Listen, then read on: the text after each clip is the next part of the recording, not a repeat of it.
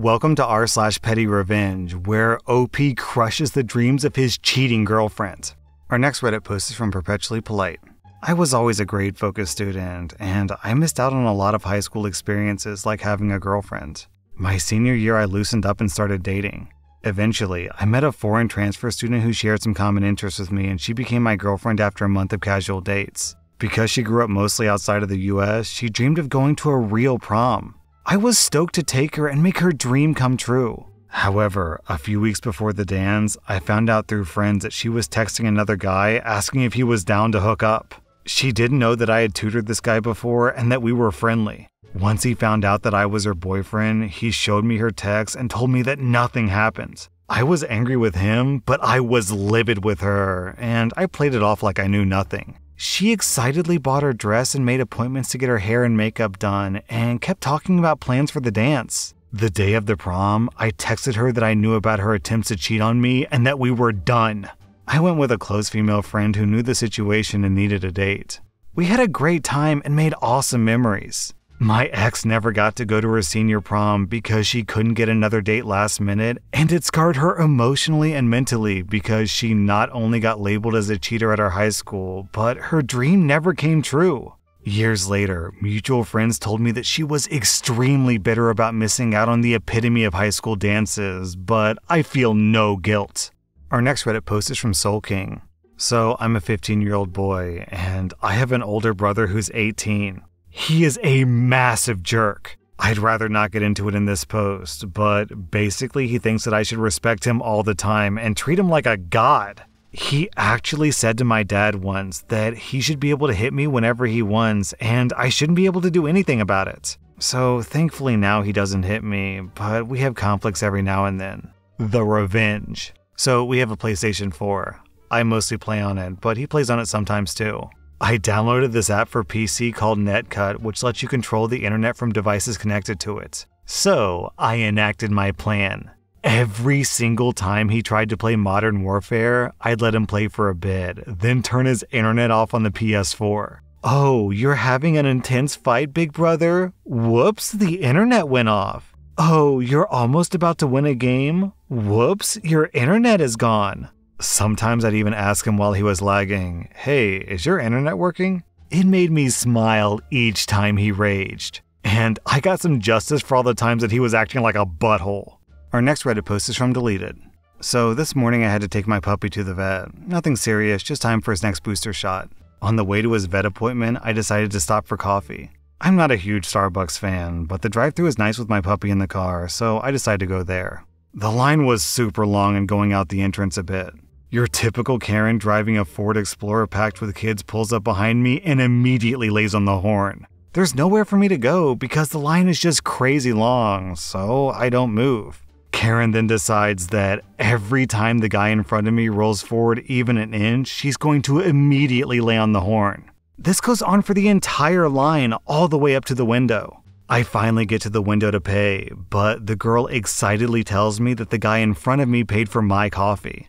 In fact, they have a streak now of the past eight people paying for the person behind them, so she asked if I would like to pay for the person behind me. I took my coffee and told the girl, that's really nice of them, but I am not paying for the lady behind me. She's been a dick this whole line, and I drove off.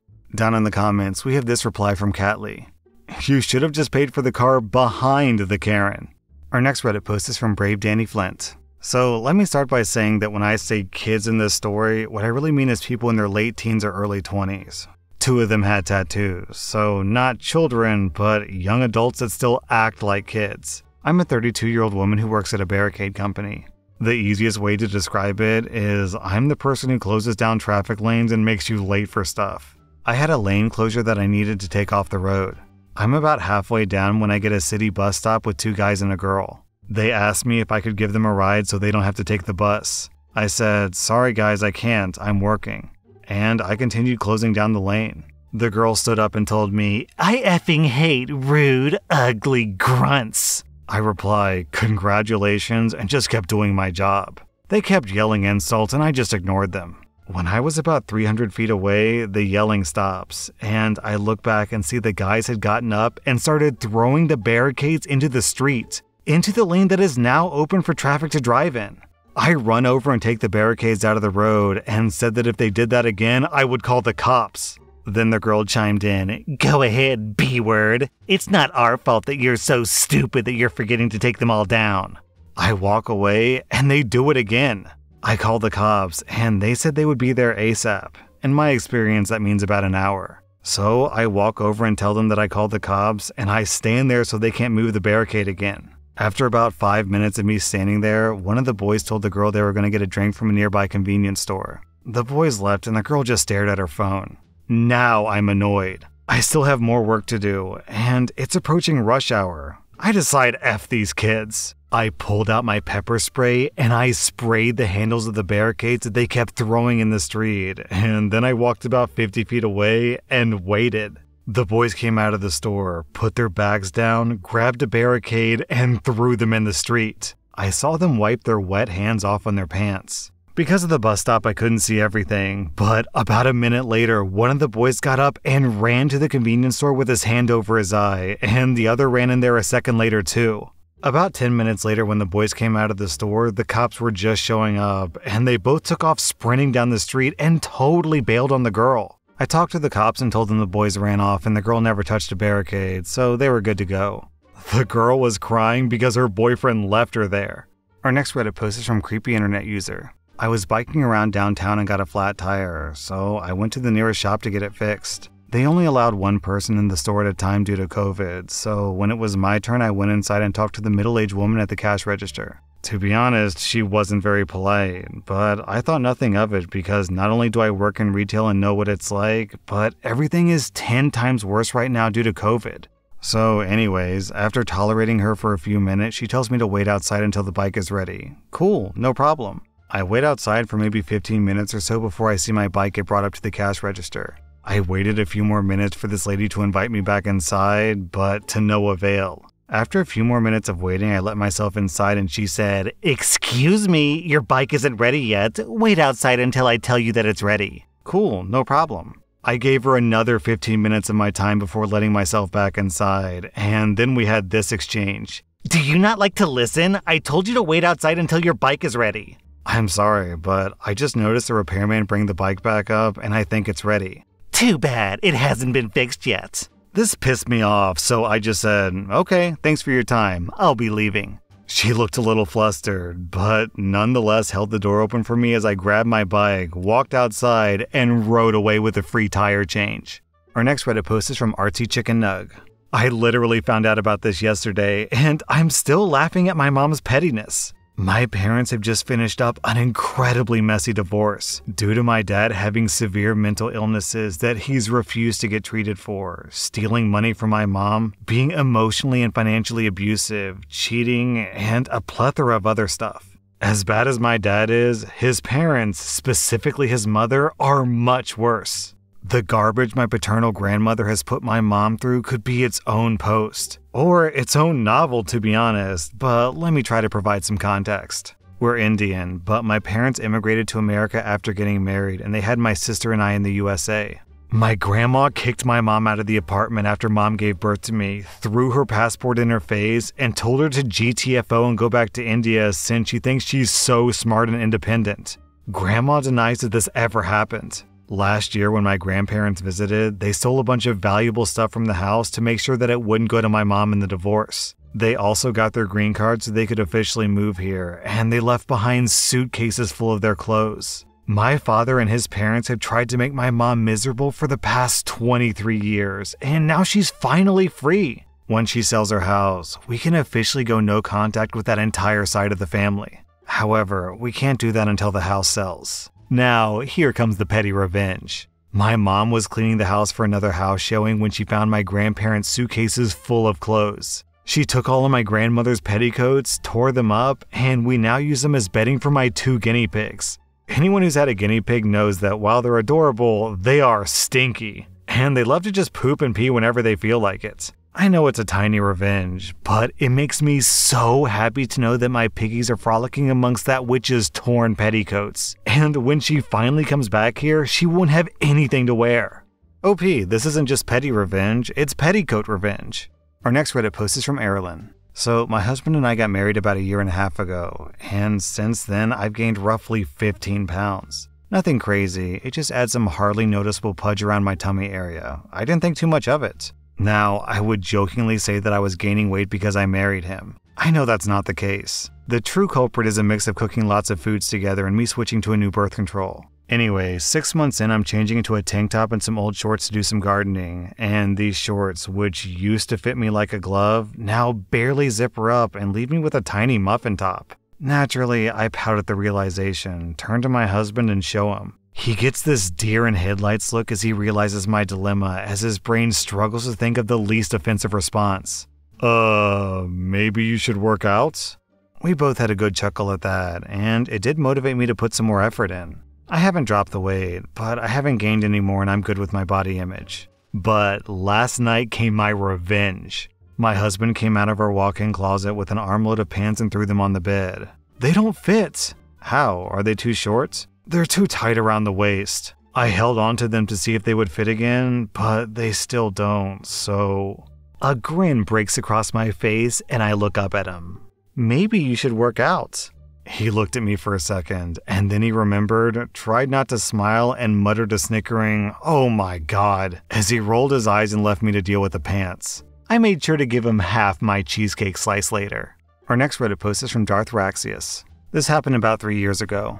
I had recently graduated college, but I hadn't been able to find a job in my field, which was engineering. So I started looking for another job in the meantime to pay my bills. I got hired by a machine shop as a machine operator. I was working there for about a month when the foreman decided that he had to teach me a lesson about punctuality. I admit that I was late more than I should have been, maybe once a week. But I was almost always less than one minute late, and at the latest, I was like two minutes late. And, anyways, I always made sure to make up for it by staying a few minutes after my shift. For context, my job was from 7 a.m. to 3:30 p.m., and I had a 50-minute commute, so traffic was often unpredictable. After he gave me a friendly warning, I started to leave about 5 minutes early to avoid being late. About a week later, there was an accident on the highway that slowed traffic down. I arrived at work and clocked in at 7:03 a.m. I turn around and see the foreman standing there with his hands on his hip. The conversation went like this. "You're late." Yeah, I know. There was an accident on the highway. I don't want to hear an excuse. Sorry, I'll make up for it by staying late like I always do. Oh, so now you're trying to justify being late? You don't get to show up for work whenever you feel like it. No, I'm saying that I'll make up for it. Now you're accusing me of not caring when I show up? You know what? Why don't you go home? I'll call you when I decide that I want you back. I said F it and left, not wanting to waste any more of my time on this pointless argument. I called the employment office and told them what happened. They started looking for a new job for me. I got a call from them the next day and they told me the machine shop owner wanted me to come in for a meeting. Cue the petty revenge. I drive over to the machine shop, and while I'm in the parking lot, I make a phone call. I make sure to clock in before heading into the meeting. As soon as I sit down, the owner's phone rings and he ignores the call. It turns out this was less of a meeting and more of a chance for the foreman to lecture me about diligence, punctuality, and respect. I get the feeling that he was some kind of ex military commanding officer. If you expect to get anywhere in life, you must have respect for your superiors. I try to explain myself, mentioning the commute, the accident, making up for lost time at the end of my shift, and how the guys on my floor are always saying that I'm doing a great job, but he's having none of it. He keeps getting angrier and angrier, and he finally decides that I'm a lost cause and he officially fires me. I look him in the eye with a shit eating grin on my face, chuckling. You think this is funny? Yep. I turn to the owner and say, Hey, you got a phone call from that temp agency earlier, didn't you? Why don't you play the message they left? A lady from the temp agency said, Hi, Bill, this is Carol from Employment Solutions. I just received a call from OP saying that he isn't interested in working for your company anymore. If you could send me over the rest of his time cards, we'll start looking for a new machine operator for you. They both looked at me dumbfounded. I say, We've been talking for, let's see, 52 minutes. I checked all my time cards, and it turns out that I've only been late a total of 8 minutes and 32 seconds since I started working here. Since you decided to die on this hill, I thought I'd see how much these precious minutes mean to you. You've wasted 20 times the man hours on this pointless meeting. I hope you're happy. Learn how to pick your battles, Corporal. I walked out, clocked out, and picked up an unemployment check. I never heard from them again. Man, so I'm going to talk from a position of privilege for a minute, but as I read these stories, it just feels so alien to me now because as a YouTuber, I work my own schedule. I work as much or as little as I want to, and I work whenever I want to. And it's awesome. Don't get me wrong. This is one of the biggest perks of this job, and I just I just absolutely love having control over my own schedule. If I ever like stopped being a YouTuber and I had to go back to conventional 9 to 5 jobs where you have to dress up nice and drive into the into the office and do what your manager says, oh, I I don't think I could do it. I really genuinely don't. I'm pretty sure I would get fired. This might sound crazy, but I genuinely truly hope that being a YouTuber is the last job that I ever have. Unless, of course, you know, I have a job that I want to pursue just because I'm passionate about it, but like, I just, I can't go back to the workforce, man. After being my own boss, I would be the world's worst employee. That was r slash petty revenge, and if you like this content, check out my podcast where I publish the exact same episodes. Also, be sure to follow my podcast because I put out new Reddit podcast episodes every single day.